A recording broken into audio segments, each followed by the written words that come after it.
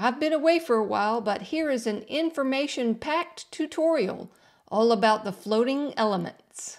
What's interesting about the floating elements is it is stuffed in the templates section over here. Here's my mouse pointer. One would think that it would be a template and that it would be like listed in there, like with all of the saved templates, but alas, it's not. Floating elements is its own thing. It's its own entity. So let's take a look at the floating elements. Here is the floating elements page. I've already created one, but we're going to go through it together and create one together. Let's just go up here and add new floating element. So I'm going to click that. And it says, do you want a button or do you want a floating bar? We're going to do the floating bar. And it gives it a name. So we're just going to call it bar one. And we're going to create it. When creating a template, one would think that this is just like step number one. You can use one of these templates if you want to, or as you know with Elementor and templates, now this is a floating bar and a floating button. If you come over here and you do what you do normally with templates, you would close this and you would go to the point where you want to customize and create it yourself. Alas, Elementor does not give you that option. So if you close this window, looky looky, there are no elements over here to build anything.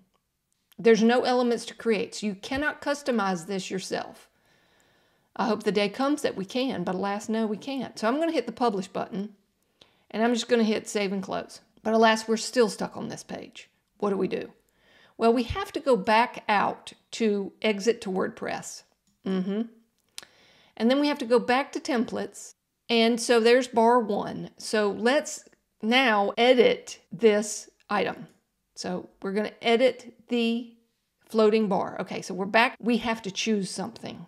Okay, it doesn't matter. Boys and girls, it doesn't matter. You can have the little scrolly thing along the top if that's what you want. If you want it at the bottom, that's fine. If you want it at the top and you want a custom code for some sort of coupon code, mm, I haven't had that been able to work yet. So we'll just pick one and we'll go with it. Okay, and it gives us a preview. Okay, now I can't give you whether or not that copy paste thing's going to work, but we'll hit insert anyway. And so whatever template you've got going on, it's going to shove it all the way up to the top of the page. Can you change that? And you're like, hmm, I changed my mind. I want it at the bottom. Yes, you can. Is it advanced? Mm, yes, right here under layout, advanced. So there, yes, you can force it to the bottom. You can choose it at the top or the bottom. It doesn't matter. Okay? I'm, I'm curious. I'm going to hit sticky, yes, and I'm going to hit publish because you notice we got this space up here. I want to know if it fixes that. Okay, add condition. Uh, we're just going to put it on a singular site. What single page do we want? We want the home page.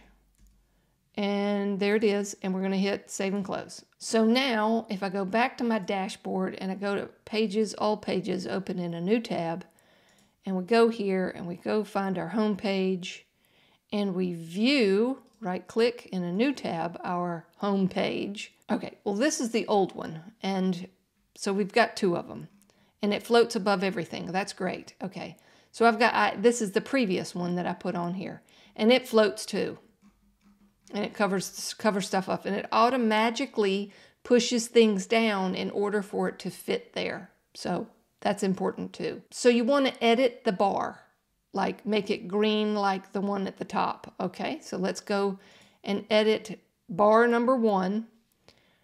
And it's, you know, pretty much basic with all of the other ways you can change items. Let's go to the floating bar. We want the coupon banner and uh, let's go to the style. Floating bar, in order to get to change the color, you have to go to style and floating bar and background color is one of them. So we're gonna, um, oops, I clicked the wrong thing. I wanna choose one of my accent colors, we'll just go there and um, birthday celebration. Okay, let's go to the announcement. We'll change the color of the birthday cake and the coupon also is going to be a darker green and the border color is going to be a darker green. Okay, that's great, wonderful. And we're going to hit publish. All right. So when we go back and hit refresh, it should change colors. That's kind of annoying and it's always at the bottom. But if you don't want it, you can close this one. Oh, I need to set the link for that. So let's go back to the dashboard. Let's go to templates and the floating elements. Let's go edit with Elementor. I wanted to see if this worked. The view positions, let's click on that. And that's the button. Um, and we want positions, P-O, positions. There we go. That's the page. We're going to hit publish. Good, good, good. And we're going to go back to the page. We're going to hit refresh. And we're going to click on View Positions, and there's the positions. Yes, if you would like to goosey gander, you just hit the pause button and read these wonderful tech support, um, you know, things. You have fun with that. But yes, the button works and goes to all the positions. You're going to have fun with that. Hit that pause button and read those descriptions. But at any rate, that's pretty much the floating elements. We can go through and you get lost and you have to exit to WordPress. When you get in one of those floating elements that's not a floating element, we'll add a new one. Uh, we'll do the floating buttons this time. Let's just say buttons, one, and we'll create the floating element. Again, you can't hit the X and try to do anything customized. You have to choose something on the screen. Don't worry about whether it looks good or not. You're going to be able to change the colors and some of the items. Let's hope that we can move these from the left to the right side of the screen. There it is. And this is the first time I've used that. Go to the style, contact buttons. I see nothing that says allow me to put it to the right side of the screen or the left side of the screen. Ah, here we are, horizontal position. There we go. And the center. Lovely. Uh-huh. And we can put it at the top. Oh, no, I don't think you want to do that. Let's go left over here. Mm, no, we're going to put it at the bottom of the page. All right, and let me go into the style and let's see here. The menu buttons. Ooh, aren't they pretty? Okay, the icon, the background color, default, contact buttons, icon color. Let's choose a green color and the background color is going to be white. Okay, mm, that's just easy peasy. And then we need the hover color. The icon color is going to be darker green when you hover over it. Lovely, that's perfect. Okay, that works for me. So that's pretty much the easy peasy how you do the buttons to content. Okay, WhatsApp. Okay, you can change the name um, the tooltip, I would obviously put the same thing that's in there. Um, you can put a number, messenger. So the icon comes with the, okay, got it. All right. First time using this, but I kind of do that so that you know that I'm lost along with you.